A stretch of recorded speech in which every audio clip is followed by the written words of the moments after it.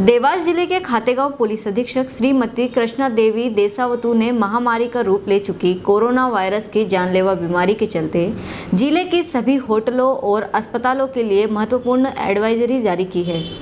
इसके अंतर्गत होटल संचालकों को भी निर्देश दिए गए हैं कि होटल में ठहरने वाले राहगीरों की समस्त जानकारी प्रतिदिन निकटतम थाने पर प्रदान करें। बाहर से आकर ठहरने वाले विजिटर्स की जानकारी तत्काल कंट्रोल रूम पर देने के लिए निर्देश दिए गए हैं।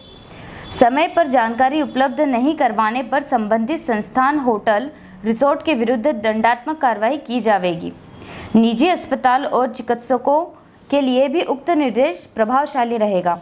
इसके अंतर्गत उनके द्वारा इलाजरत कोई भी मरीज़ संदिग्ध रूप से उनके अस्पताल या क्लिनिक पर आता है जिसका वह इलाज कर रहे हैं तो इसकी सूचना तत्काल उपलब्ध करवाना आवश्यक है। खाते गाँव से सादिक खान की रिपोर्ट।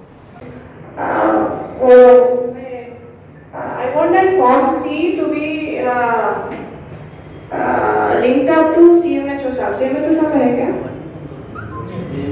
नहीं सर नहीं है।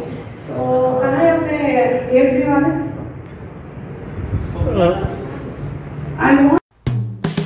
हेलो फ्रेंड्स आप देख रहे हैं हमारा channel S W twenty four news हमारे सारे वीडियो सबसे पहले देखने के लिए आप हमारे चैनल को सब्सक्राइब करें और पास में लगे बेल आइकोन को दबाना बिल्कुल भी ना भूलें।